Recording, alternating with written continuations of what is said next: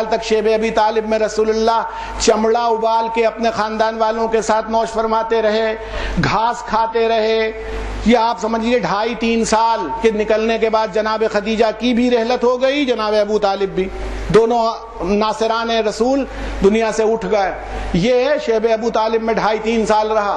कत्ल के दर पे हुए, निकाल दिया। जहाँ जाते थे उनके उनके खिलाफ प्रोपेगेंडा करते थे।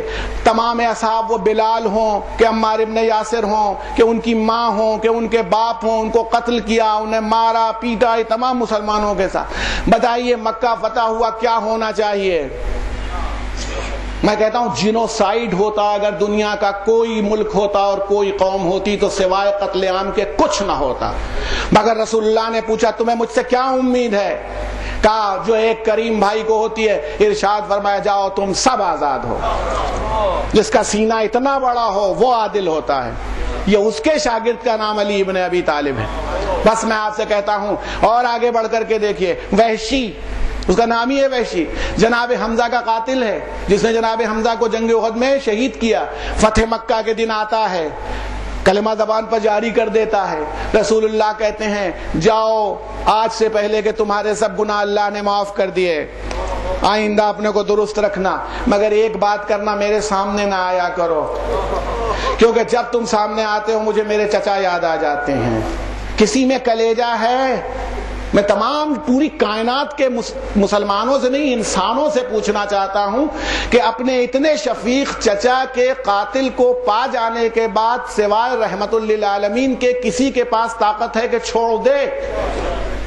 वो यही छोड़ सकता है जिसके पास इतनी ताकत मौजूद हो।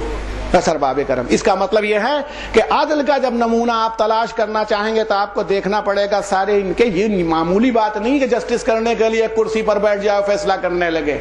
बल्कि उसकी कैफियत मिजाज क्या होगी? उसका नफ्स कितना पाकिजा होगा? नफ्स पर उसे कितना काबू होगा? उसमें कितनी तहारत होगी? जब इन तमाम मंजिलों को सर करके आगे बढ़ जाएगा, तब उसको माना जाएगा कि वो पाकिजा नफ्स इंसान है। वरना अंदाज़ा कीजिए, कभी भी वो कामयाबी से अदल के उस निज़ाम को इस्टेब्लिश ही नहीं कर सकता जिसकी कुरान दावत दे रहा है। कुरान कह रहा, अंबिया का काम क्या है? रसूलों का काम क्या है? वो इंसानों को अदल पर कायम कर दे। अरे बाबे कर सलवा भेजे मोहम्मद मोहम्मद। मैं आपकी तवज्जोहात का बहुत शुक्रगुजार हूँ कि मैंने बहुत तेज़ी से आपकी को उस मंजिल से करीब लाने के लिए ये सारे इश्यूज़ आपके सामने रखे। देखिए, तासुब खुद अदल के राह में रुकावट होता है। किसी तरह का तासुब हो। कभी इलाकाई तासुब होता है, कभी मजहबी तासुब होता है, कभी जबान का तासुब, लिसानी तासुब होता है। जितने तासुबात होते हैं, वो इंसान को अदल के रास्ते से दूर करते चले जाते हैं। आप पैगंबर की सीरत में देखें, कोई तासुब है अरब को अजम पर कोई फोकियत दी हो, काले को गोरे पर कोई फोकियत दी हो। इरशाद फरमाया, क्या कुरान की डिसिप्लिन और कुरान की पूरी जो फ़िक्र है पेश की? इन्ना अक्रमकुम इंदल्लाकुम तुम्हारे अल्लाह के नज़दीक मुकर्रम और बुज़ुर्ग वो है जो मुत्तकी है। तासुब हो सकता है। मैं कहता हूँ, मजहबी तासुब सबसे खतरनाक चीज़ होती है। आदमी उसको भी मज़हब समझता है, दूसरे को मार डालो, ये मज़हब है। जो हमारे मज़हब पर ना हो, उसको कत्ल कर दो, यही मज़हब है। यह इंसान का मिजाज है, समझता है। मगर मैं कहता हूँ, अल्लाह के रसूल को आप देखिए, मदीने में जिस वक्त हिजरत करके गए, यहूदी थे, यहूदियों के कबीले आबाद थे। आपने जब तक उन्होंने शरारत की हद नहीं कर दी, उनको रहने दिया। किसी यहूदी से रसुल्लाह ने तारुज नहीं किया, वो मौका नहीं तफसील पेश करता।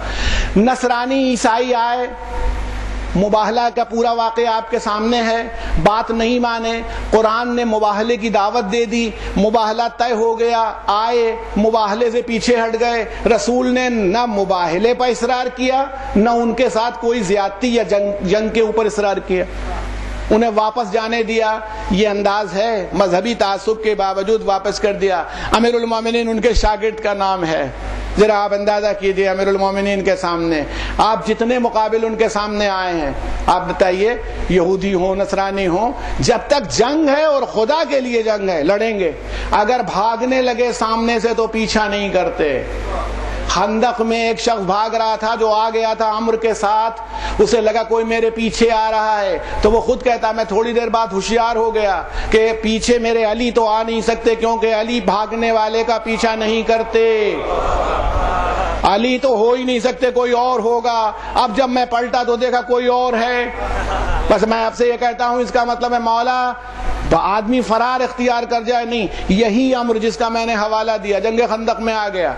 अमीरुल मोमिनीन ने पूछा उससे मैंने सुना है तुम तीन बातों में से एक बात मानते हो जिससे जंग करते हो। उसने कहा हाँ बिल्कुल आपने सही सुना बताइए। कहा, देखो, इस्लाम कबूल कर लो। पहला, पहली, पहला ऑप्शन मैं तुम्हें ये देता हूँ, मेरी बात मान लो, इस्लाम कबूल कर लो। उसने कहा, नहीं, ये नहीं करूँगा। अगर इस्लाम कबूल कर ले तो लड़ाई की वजह खत्म हो गई। वो इस्लाम ही से तो लड़ने आया है, जंग खत्म। दूसरी बात, उससे कहा अच्छा ठीक है, इस्लाम नहीं कबूल करते हो तो वापस चले जाओ। अब मैं आपसे पूछता हूँ तो वापस जाएगा तो कलमा पढ़ता हुआ। नहीं, काफिर की हैसियत से वापस जाएगा। तो इसका मतलब यह है कि अली काफिर के भी हक हयात के कायल हैं। कुफर के साथ इंसान को ज़िंदा रहने का हक है, ये हयात खुदा की दी हुई है। काफिर को ज़िंदा रहने, आप किसी महज किसी को काफिर कह के वो कत्ल कर दें और समझें ये दीन है, ये दीन नहीं है। काफिर को भी हक हयात है इंसान की हैसियत से कि उसको वापस जाने का एक मौका था फरमाया अच्छा वापस जाना चाहते हो, वापस चले जाओ। उसने कहा, अरब की औरतें हंसेंगी। यानी मैं तो कहता हूँ, चाहता था चला जाऊँ, मगर औरतों की हँसी की वजह से नहीं गया। है? शर्मा, मैं शर्म आएगी, मैं नहीं जाऊँगा। तो मौला ने कहा अच्छा ठीक है, तुम घोड़े पर बैठे हो, तुम नीचे आ जाओ। फिर हमारा तुम्हारा मुकाबला हो जाए। और बयान ये किया जाता है कि उसने उतरते ही गुस्से में जो तरीका था अरब के शह सवारों का, कि एक तलवार से वार किया, चारों टांगे घोड़े की कट गई, अपनी बहादुरी दिखाने के लिए। तो मैंने खुद सुना, खुतबा से वो इर्शाद फरमाते हैं कि अमीरुल मोमिनीन का कोई वार ऐसा नहीं होता था, या सीधा वार करते थे, या बेड़ा वार करते थे, आड़ा। और दोनों टुकड़े बराबर होते थे। कभी आपने ये नहीं किया कि कहीं और वार किया हो, या यूँ कता करते थे, या बीच से कता करते थे। ये आपका तरीका जंग था, मगर अम्र की पिंडली काट दी। क्योंकि इमाम आदिल ने यह देख लिया कि इसने उतरते वक्त एक बेजबान जानवर के साथ जुल्म किया तो जो जुल्म करने वाला जालिम है, दुनिया से तब तक न जाए जब तक उसका एग्जीक्यूशन न हो जाए। सलावाद भेजे मोहम्मद मोहम्मद।